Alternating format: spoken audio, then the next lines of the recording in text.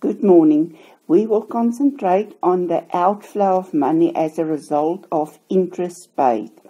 If we look at the information provided, there are accrued expenses for 2014 for interest, and then at the end of 2015, there's a prepaid expense of 4,400.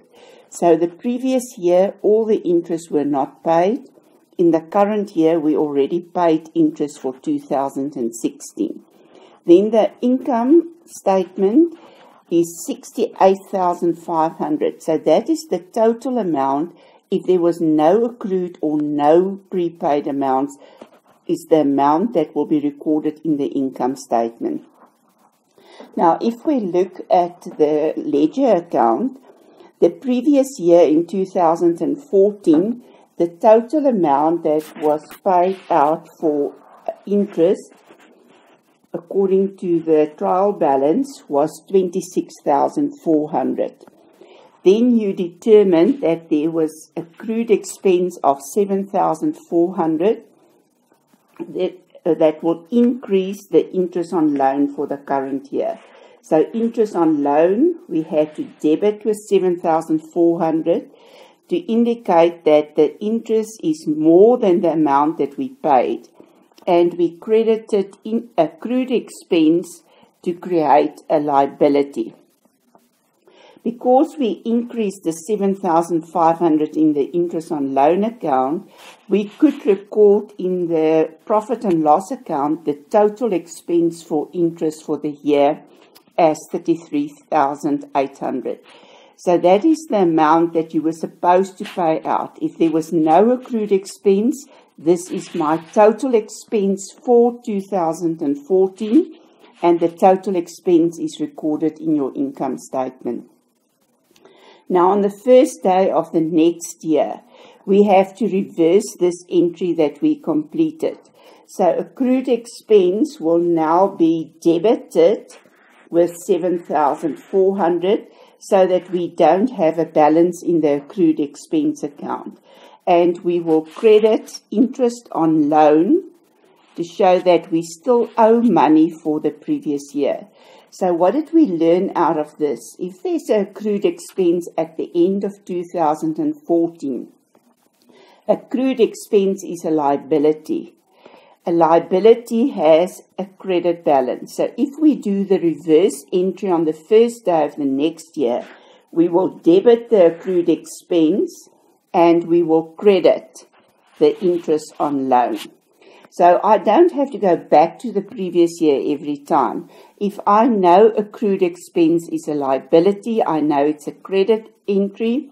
So if I do the reverse entry, it will be on the credit side of my interest on loan account. At the end of 2015, we see that there's a prepaid expense of 4,400. Now, in 2015, they don't tell us how much money did we pay, and we have to uh, calculate that by balancing. So first of all, I'm going to say included in the amount that we paid on the debit side, so included in that bank amount, is prepaid expense that's not for the current year. I will therefore have to remove the prepaid expense from my interest on loan account and show that interest on loan is credited with 4,400 to reduce the expense for the current year and prepaid expenses account uh, asset is created for 4,400. Then we look at the profit and loss figure. Now remember the figure that's in your profit and loss is the amount that it should be if there was no prepaid and no accrued amounts. So in my income statement or profit and loss, I've got a figure of 68,500. So I debited profit and loss and I credited interest on loan with 68,500.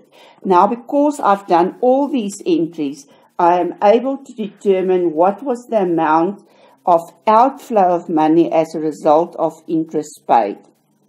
80,300. At the beginning of the next financial year, we will have to do a reverse entry again to show that the prepaid expense that we created at the end of the year must now be reversed. So I will take it out of my prepaid expense account and I will put it into interest on loan on the debit side.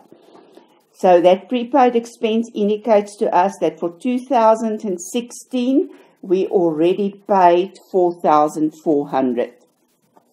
If we go back to 2015, this 80,300 that we paid included the accrued expense of 2014. So the first money that we paid was to pay for the accrued expense. Then we paid money for our current year, and then we also paid money for the next year, 4,400. So included in that 80,300 is the interest for the current year, the accrued expense for the previous year, and the prepaid expense for the following year. If we look at the cash flow statement, the amount that we will record as outflow of money will be the 80,300. So that is not the figure that we have on our income statement because on the income statement we show what is the expense for the current year.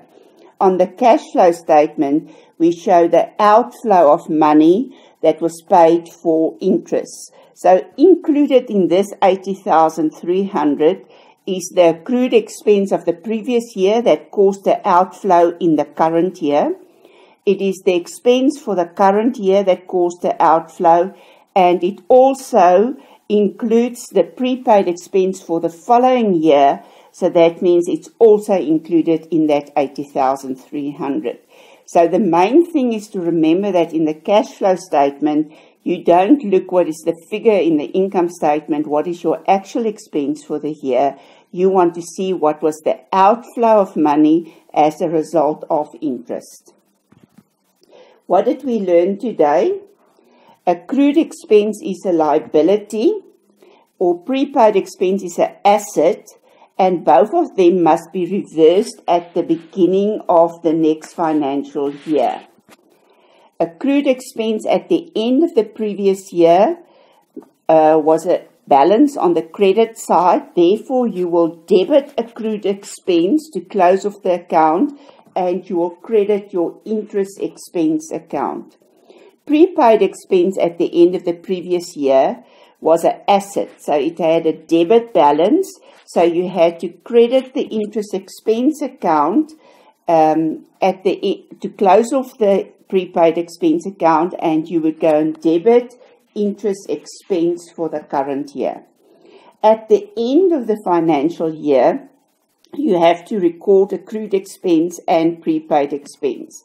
So you will do it at the beginning of the year when you reverse entries and at the end of the year when you do an adjustment to do the entries for the current year. At the end of the year, the accrued expense is um, li liability and therefore accrued expense will be credited interest expense must be increased because we didn't pay all the interest, so interest expense will be debited. Prepaid expense at the end of the year is an asset, therefore we will debit prepaid expenses. Interest is an expense. We already included a figure there that's not for the current year, so we have to remove it from the interest account so the interest expense account will be credited.